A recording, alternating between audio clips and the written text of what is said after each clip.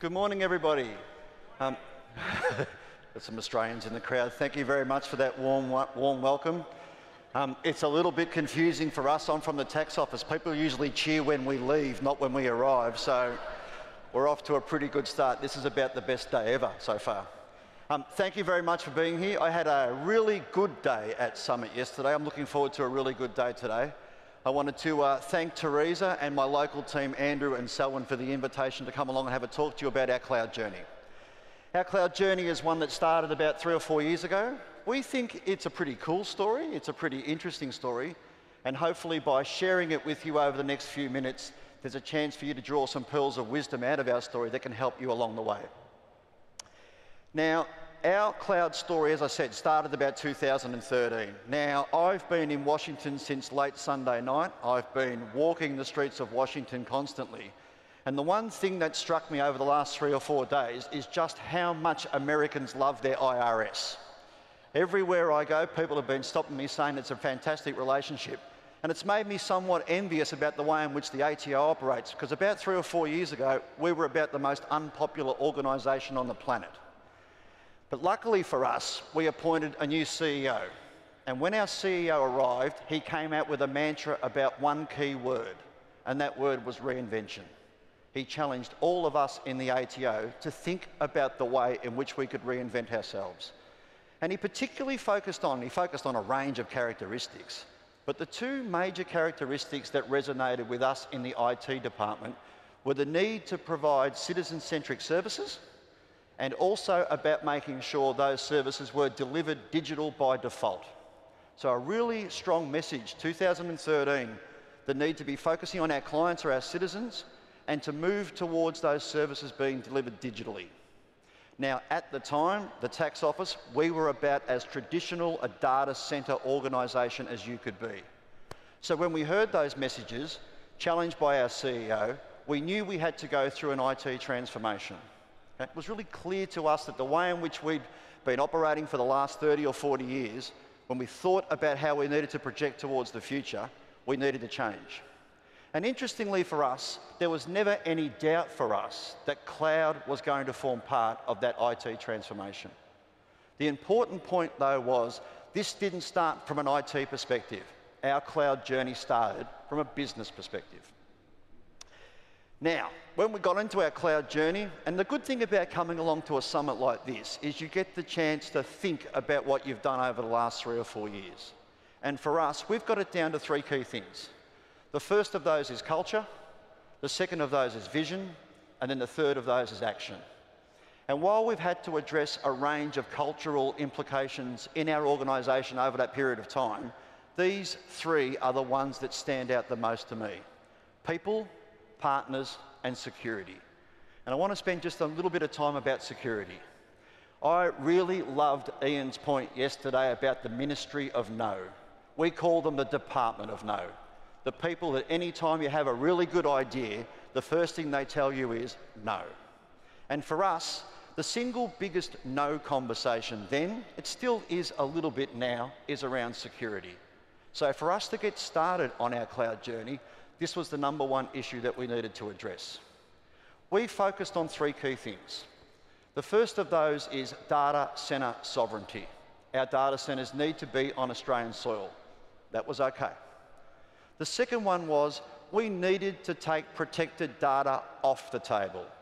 We don't necessarily agree that it should be off the table for a long period of time, but we were happy to take it off the table if it allowed us to focus on everything else being on the table.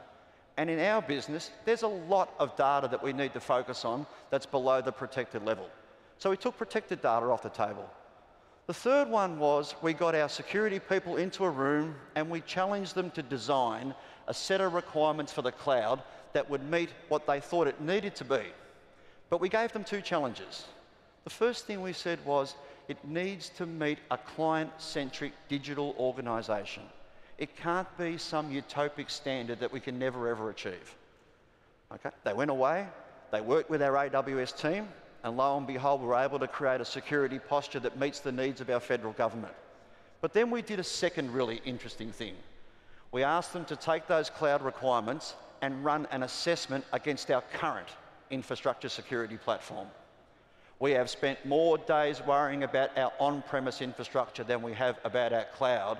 And I guess, like a lot of people in the audience, we've had a couple of instances in the last two to four weeks where we've been able to easily agile respond to a couple of security threats in our cloud environment, and we're still working through how to resolve those in our on-premise infrastructure. If you're driving a cloud transformation on a cloud journey, you need to own the cultural conversation. You need to shift the no's to yeses. That's the first step. Let's now talk about the second step. This is our cloud vision. We call it the purple horseshoe. It's clearly got purple in the colouring and it's shaped like a horseshoe, so there's no rocket science about how we thought about this. This became, and this is about now maybe two, two and a half years old. And it's not so much about the content. What this is, this became an open invitation, an opportunity to all of our partners to be very clear about where the ATO was heading. And when we shared this vision with our partners, and we shared it with the partners that we had a commercial engagement with, and we also shared it with the partners that we didn't have a commercial engagement with, we asked one simple question. Show us where you add value in that ecosystem. It's all the question that we asked. If you could find a way to answer that question yes, we guaranteed you work. We didn't care if we had a contract with you or not. We offered the invitation, and if you showed us that you could say yes, then we guaranteed you some work. Interestingly enough, the one organisation then is the same organisation today that most espouses the values that we're looking in partners, and that was AWS. By sharing this vision, we changed the second key cultural level, all about our partners. At some point in time, you've got to stop, got to stop talking, don't you? You've actually got to start doing something. So if the first one was culture and the second one was values, the third one was action. I was really pleased to hear Werner say yesterday, if you want to get started, start with infrastructure and start with dev test, because that's exactly where we started. Okay? Infrastructure as a service, development and test environments. A couple of things happened for us on our cloud journey. We saw all the benefits that cloud espouse.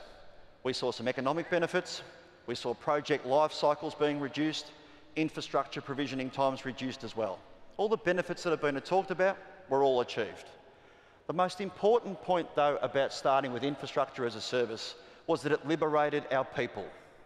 We had no idea how frustrated our workforce were, our developer workforce, working in an IT environment that they considered archaic.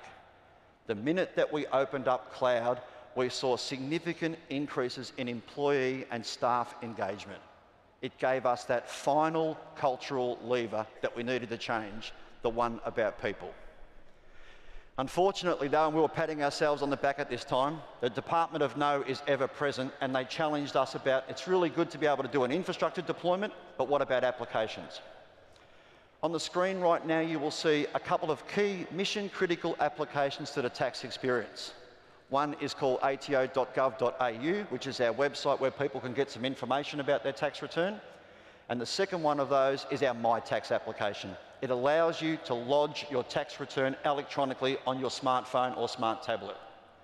This is what I consider to be the quintessential client-centric digital experience. And on the 1st of July 2017, all of that is running on the AWS platform. Infrastructure tick, application tick. Our cloud journey is going ahead in leaps and bounds. Last point, this is the slide that I created. Next, as you can see, it's technology savvy. It's a blank screen. The intention being to actually set, we're at the stage right now where it's a blank canvas. We need to start thinking about not where we go on our cloud journey, but how we continue to work in our cloud journey. I think we've got two key challenges. The first of those is to move towards platform as a service, and we're already working with our AWS colleagues about that. The second major challenge for us is how we bring about that really strong concept of a digital marketplace. And from the Australian point of view, we're seeing that digital marketplace characterised by terms like high availability, high resilience, high security, high scale. And it needs to be, particularly now, and I think in the government sector, a 24 by 7 non-stop service. That's the next challenge for us. It's a challenge that we're really excited about. It's a challenge that we're looking forward to. It's also a challenge that we have great confidence in. And our confidence is based on two points. the significant investment that we've made in our AWS platform, and the even more significant investment that we've made in our AWS relationship. We are really excited about the next steps. I want to invite every single person in the room down to Canberra in August, where you'll be at the world's best summit you could possibly imagine. Thank you very much for listening and enjoy the rest of your day. Cheers.